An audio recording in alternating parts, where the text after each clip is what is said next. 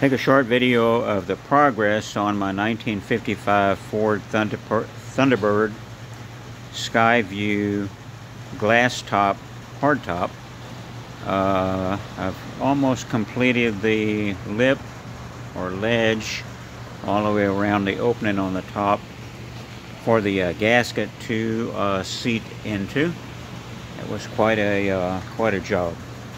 Took me about four days, four or five days more to uh, to do that. You can see it, and uh, the um, the glass top over here it will uh, fit into it, and uh, it's a teal color, quarter inch thick acrylic, and um, I may have to do some uh, where I've got some marks here, some knifing on the uh, stainless trim to get it to fit the uh, contour of the top. I thought it had, I had it fitting correctly, but I think it's slightly off. So we'll see when I do a, possibly do a test fit uh, tomorrow.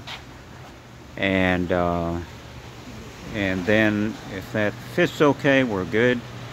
If not, I'll have to make some uh, corrections, probably to uh, trim the glass maybe, or bend the lip or something or a combination.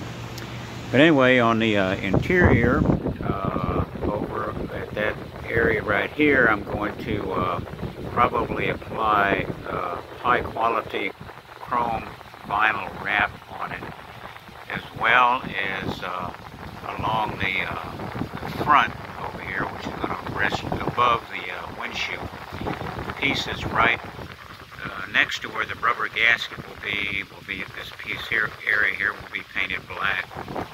And in the back, this will have a panel. Uh, it'll have two or three uh, buttons. It'll be white.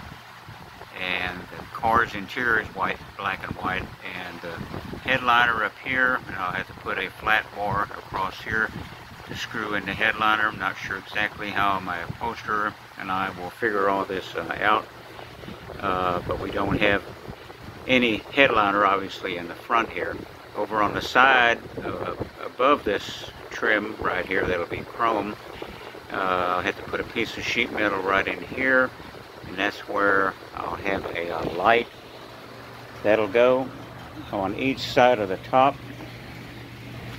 So this uh, light right right here will go be able to hold it, but it'll go up up over here kind of like that. And it actually fits in there just about correctly. But that'll be mounted on a piece of sheet metal that'll be uh, bonded in place. So um, a lot of work remains but uh, I just finished the uh, the corners uh, today so I'll take that off grind the, um, the bonded material down and uh, and prime it uh, tomorrow and do the fit check. And uh, but uh, but anyway, that's how the uh, factory would have possibly uh, done it. It's done the same as the uh, as the rear window is done. Use the same gasket and the same stainless steel trim. Although cut different and shaped, of course, differently. And then probably by the end of the week I should be getting my uh, bronze casting in for my uh, Skyview.